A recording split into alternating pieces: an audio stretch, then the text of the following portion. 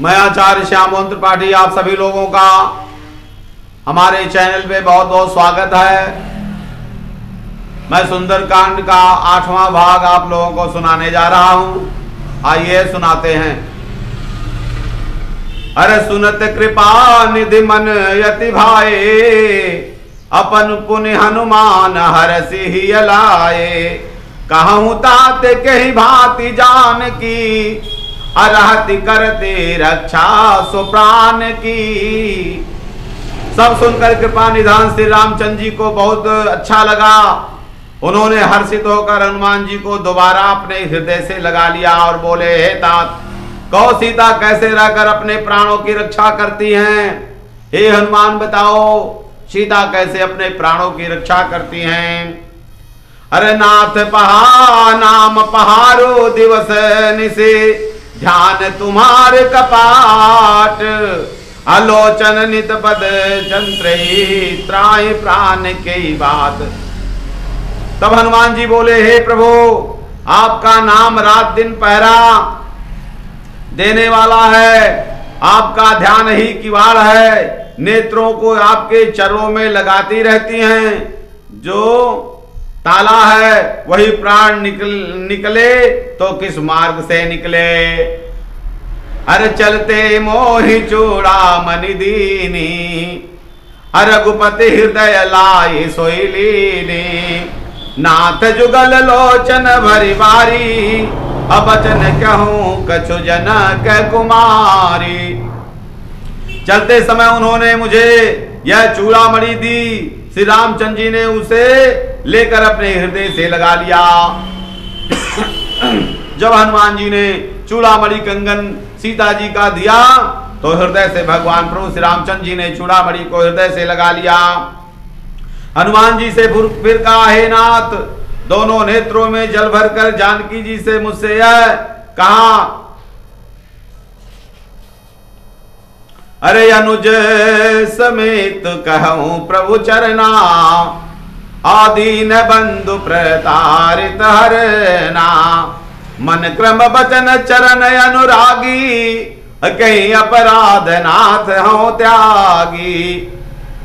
छोटे भाई सहित प्रभु के चरण पकड़, पकड़ना और कहना कि आप दीन बंधु हैं, शरणागत के दुखों को हरने वाले हैं। और मैं मन वचन और क्रम से आपके चरणों में प्रेम करती हूँ। फिर स्वामी, आपने मुझे किस अपराध के कारण त्याग दिया है? अभी तक क्यों मेरी सुधि नहीं ली?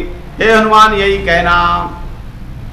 अरे अवगुण एक मोर मैं माना, बिछुरत प्राण न कीन पयाना। नाथ सुन नहीं को अपराधा, अनिशरत प्राण करई हठि बाधा। एक दोष मेरा अवश्य है कि आपसे वियोग होते ही मेरे प्राण नहीं निकल गए। किंतु यह तो मेरे नेत्रों का अपराध है, जो प्राणों के निकलने में बाधक है। अब रहे अन अब रहे अग्नि तनु तोल समीरा अश्वास जरई छन माही शरीरा। नैन श्रवई जलु निज हित लागी अजर न पावक देह विरागी विराग्नि है, शरीर रुई है और श्वास पवन है। इस प्रकार यह शरीर क्षण मात्र में जल सकता है, परंतु नेत आपके लाभ के लिए जल बरसाते हैं। और जिससे विरह की आग से जो भी देह जल नहीं पाती अरे सीता कह मति विपति विशाला, अभिनव कहीं भय, भली दीन दयाला। सीता जी के विपत्ति बहुत बड़ी है। हे दीन दयालो, वह बिना कहे ही अच्छी हैं। अरे निमिष निमिष करुणा निधि जाय कल्प समभीत। अबेगी चले प्रभु, आनी है भुज बल खल दल जीत। हे करुणा निधान, उनका एक पल पल, एक कल्प के समान बीत रहा है। अतः हे प्रभु, तुरंत चलिए और अपनी भुजाओं के बल से दुष्टों को जीत कर सीता जी को ले आइए। अरे सुनी सीता, दुख प्रभु सुख ना अभर आए जल राजीव नैना। बचन कहे यमन, मम गति जाही, असपनो बूझे विपति की ताही।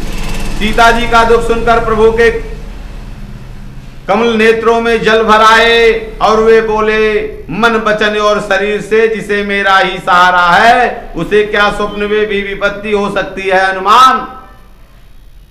अरे कह हनुमंत विपति प्रभु सोई, अजब तक सुमिरन भजन न होई। हर कहती के बात प्रभु जातु दान की, रिपु जीत आनी जान की। हनुमान जी बोले हे प्रभु, विपत्ति तो तभी है जब आपका स्मरण रहे।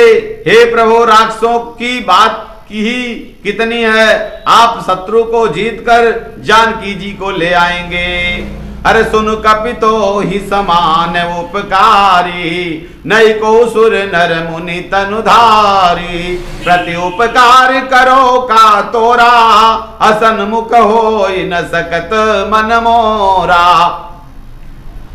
भगवान बोले हनुमान, सुन तेरे समान मेरा उपकारी। देवता, मनुष्य अथवा मुनि कोई भी शरीरधारी नहीं है, मैं तेरा प्रति उपकार क्या करूँ? मेरा मन भी तेरे सामने नहीं हो सकता। अरे सुन सुत तो ही उरिन मैं नाही अदेखो कर विचार मन माही। पुनि पुनि कपिय चितव सुर त्राता अलोचन नीर पुलक यति गाता। हे पुत्र, मैं तुम्हारे इस उपकार रूपी ऋण से मुक्त नहीं हो सकता। ऐसा मैंने मन में विचार करके देख लिया है। देवताओं के रक्षक भगवान श्री राम जी बार बार हनुमान जी को कृपा दृष्टि से देख रहे हैं। उनकी आँखों में प्रेम के आँसू भर आए और वे शरीर रोमांचित हो उठे। अरे सुनि प्रभु बचन बिलो की मुख गात हरसि हनुमंत। अचरो परो प्रे चरण परो प्रेमा कुल। त्राही त्राही भगवंत प्रभु के वचन सुनकर और उनके प्रसन्न हुए तथा पुलकित हो गए। अंगों के देखकर हनुमान जी भी हर्षित हो गए और प्रेम से विबल हो गए। विबल होकर हनुमान जी का हे, भगवान, मेरी रक्षा करो रक्षा करो। कहते श्री राम जी के चरणों में गिर पड़े।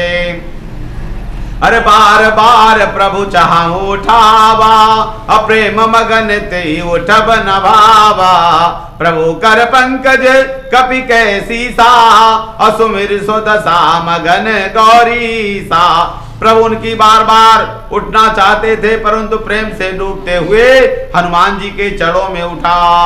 उठाना अच्छा नहीं लगता।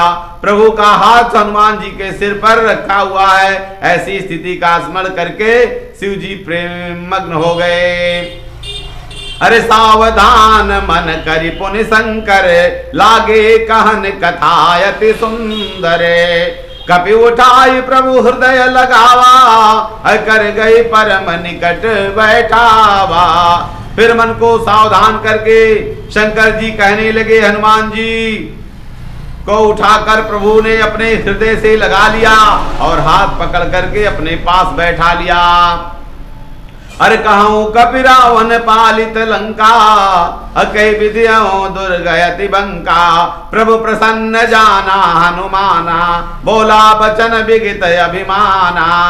हे हनुमान जी, बताओ रावण द्वारा सुरक्षित लंका और उसके इतने बड़े दुर्ग को तुमने किस प्रकार से जला दिया? हनुमान जी प्रभु को प्रसन्न जानकर अभिमान रहित होकर के बोले,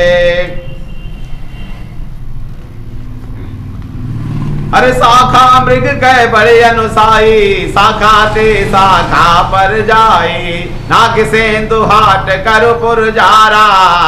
आ निश्चरण गण बदी विपिन उजारा बंदर का यही बड़ा पुरुषार्थ है कि वह शाखा से दूसरी शाखा पर चला जाता है। मैंने जो समुद्र लाग कर सोने का नगर जलाया और राक्षसों को मारकर अशोक वन को उजाड़ डाला तो सो शब तप प्रताप रघुराई, अनाथ न कछु मोरी प्रभुताई। हनुमान जी ने कहा, यह सब आपका ही प्रताप है भगवान। हे नाथ, इसमें मेरा कुछ बड़ाई नहीं है। मैंने आपकी कृपा से सब कुछ कार्य किया है। अरे ता कहूँ, प्रभु कहूँ, कछु अगम नहीं, जा पर तुम अनुकूल। तो प्रभाव बढ़ना लई जार सकल खल तोले। हे प्रभु, जिस प्रकार आप प्रसन्न हो, उसके लिए कुछ भी कठिन नहीं है। आपके प्रभाव से तो रुई भी बड़वा नल की जला कर सकती है। अर्थात संभव है, को भी असंभव में बदल सकती है। जिस पर भगवान आपकी कृपा दृष्टि हो। अरे नाथ भगति अति सुखे दायनी, देहु कृपा करी अनुपायनी। सुन प्रभु परम सरल कपिवानी अये वस्तु तब कवो भवानी। हे नाथ, मुझे कृपा करके अपनी निश्चल भक्ति प्रदान कीजिए। हनुमान जी की कृपा से सरल वाणी सुनकर हे भवानी, श्री रामचंद्र जी ने यो मस्तु ऐसा ही हो कहा। अरे उमा राम, शुभाओ जे ही जाना ताही बजो तजी भावनायाना यह संवाद जास और लावा यह संवाद जासोर आवा, रघुपति चरण भगत सोई पावा। हे पार्वती, जिनके जिसने श्री रामचंद्र जी का स्वभाव जान लिया, उसे भजन छोड़कर दूसरी बात अच्छी नहीं लगती। यह स्वामी सेवक का संवाद, जिसके हृदय में बस गया है, उसे इसी रघुनाथ जी के चरणों की भक्ति मिल जाती है। हर सुन प्रभु बचन कहाई कपि वृंदा। जय जय जय कृपाल सुख कंदा। तब रघुपति कपि पतई बुलावा। कहा, चले कर करऊ बनावा। प्रभु के वचन सुन करके वानरगण कहने लगे, कृपालु आनंद कंदो। श्री रामचंद्र जी की जय हो जय हो जय हो। तब श्री रघुनाथ जी ने कपिराज सुग्रीव को बुलाया और बोले अब चलने की तैयारी करो। अब विलंब के कारण की जय अतुरत कपिन कहूँ, आयुष दी जय कौतुक देख सुमन बहु हरसी, नवते भवन चलो सुरहरसी। तब अब विलंब क्यों किया जाए? बानरों को तुरंत आज्ञा दी, भगवान की यह लीला देखकर फूल बरसाकर और हर्षित होकर देवता भी आकाश से अपने अपने लोक को चले गए।